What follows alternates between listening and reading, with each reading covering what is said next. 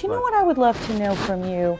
So we have these composers, Webern, you have 12 tone, and Schoenberg and Berg to some degree.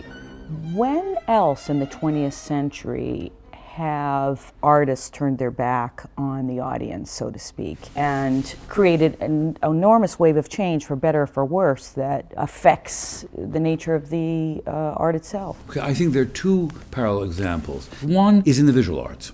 There is a kind of attempt to upend the conceits about what is art and what is beauty Yeah. among the average person. The other is architecture.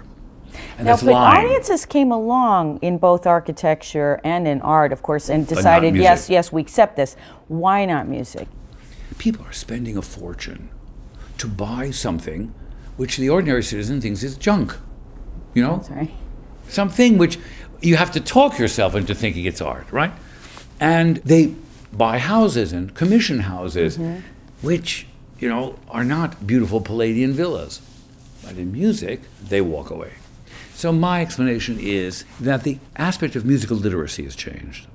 In the 19th century, literate people became sort of literate in music.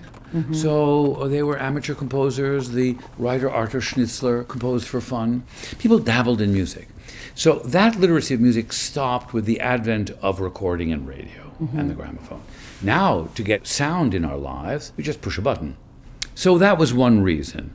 The second is, you know, you can walk away from a work of art. Yes. You know, we force these people to sit in the hall Right. for a very long time. Mm-hmm. It's a musical argument. If you Right. can't follow the musical argument, Yes. get that's right. antsy. That's and right. these composers made it very hard for them to follow the musical Mm-hmm. argument. If we're performing Webern, Yeah. how do you tell an audience to hear Webern? Felix Galimir taught me this. He was a Viennese of the Galimir Quartet and did premieres of Webern and Berg. And he said when he came to America, he had the hardest time explaining to Americans that this is just music. Think of it like Schubert.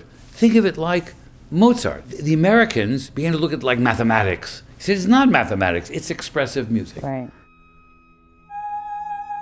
So think of it as making this expression in a more astringent, wistful way in which the silence is a constituent part mm-hmm. of the sound. The way to give it to listeners is say, this is music where you have to be participant. You can't lay back and someone's going to feed you like a baby. right, right. This you have to actually reach out and take the apple and put it to your mouth. Oh, that's wonderful.